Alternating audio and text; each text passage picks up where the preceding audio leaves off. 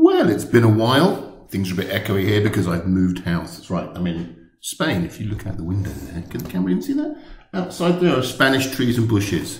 And this is my new office, which is uh, just being set up. So hence me using a laptop, no microphone. My desktop system doesn't arrive till next week.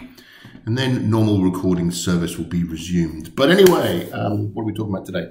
Um, I finally got bored of Gmail. Um, I've been using Gmail for a very long time. And um, mixed in with my general dissatisfaction with some of the uh, editing, censorship, and all that kind of stuff that Google um, impose on um, their services, YouTube. I just thought, okay, I want to get away from big tech, reading my emails, um, controlling what I can read, potentially censoring things. If they're censoring content online, um, I had a video censored on YouTube because during it, it's just a fun one I was messing about, and I made a joke about COVID, and I got a warning strike because I was joking about COVID. Ridiculous. Anyway, lots of looking around, and I find Proton Mail, and I've decided that I'm going to move my email from Gmail to Proton Mail. You'll have seen the stuff above. I've written the blog about uh, how to get started. It's very cheap. It's like $80 for two years, 40 bucks a year, 3.95 a month. Um, essentially has all the services that uh, Google Mail has. So you've got your email, you've got your contacts, and you've got their version of Google Drive. And I'm going to dive in to get started. I've literally just created my account.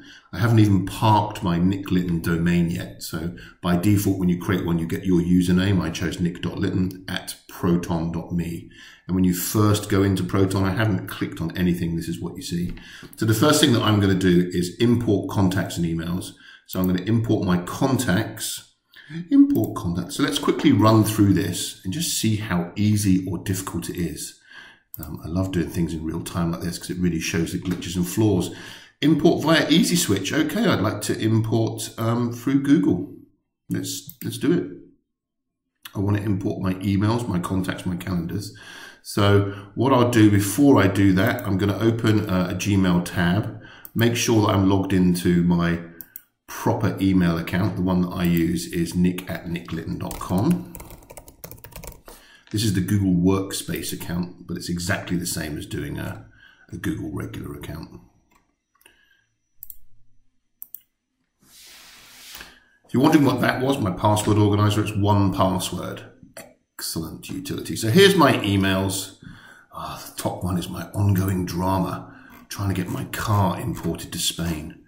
Don't try and import a car to Spain. It's very, very difficult. Anyway, so here's a tab with me logged into my Gmail account. Um, I'm going to go back to the import tab and I'm going to try to import emails, contacts and calendars. And I've got uh, 30, 40,000 emails, a lot. Next, you need to sign into your Google account and grant Proton access to the data. Okay, I'm good with that. As you can see, I've got multiple Google accounts, but my main emails are on nick at nicklitten.com. Um, I'm going to give Proton access to do anything they like in my account. If you're going to trust a company, you've got to trust them. And it's gathering. Okay, so it's found. Oh, it's even going to import all the labels as well. Good. So I have lots of, when I look at my email, you can see I've got all kinds of labels that I use to label the various emails over the years. Um, from private stuff to business stuff. I now use my projects email for my business stuff. This is really just private. And going forward, I'm going to be using Proton for all of my private emails, um, private discussions about anything. And then I have a separate email account for my business related stuff.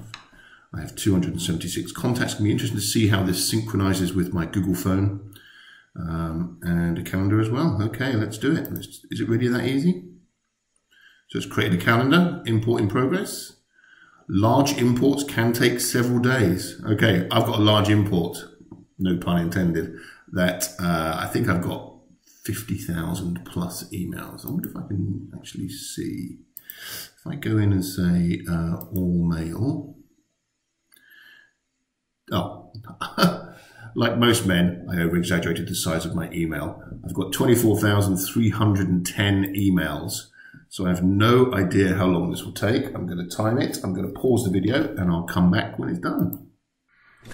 Okay, and we're back just over 10 minutes later. this is going to take some time. You can actually see, I just realized, if you look at the tab to the left of the Proton emails. That's the this is the original where I clicked on the uh, import contacts. It launched a new tab to start the import. Look, it shows a running count of how many emails it's imported.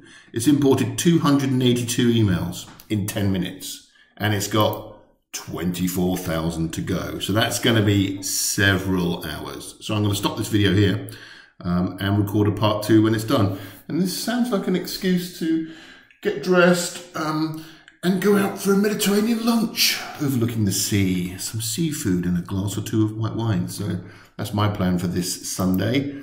Um, go and do something like that yourself. That's right. and I'll see you later.